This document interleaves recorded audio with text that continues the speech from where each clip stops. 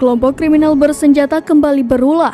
Kali ini kelompok pimpinan Pilanus Walker berulah dengan membakar 5 unit rumah warga di Kabupaten Puncak, Papua Tengah pada Jumat 28 April 2023.